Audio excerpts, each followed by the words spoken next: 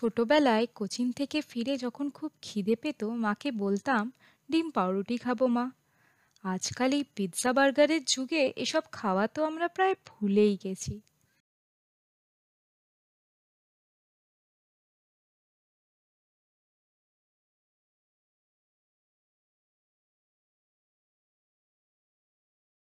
আজ সন্ধ্যাবেলা খুব খিদে পাওয়াতে বানিয়ে ফেললাম বাঙালির ভার্সন অফ ফ্রেঞ্চ টোস্ট।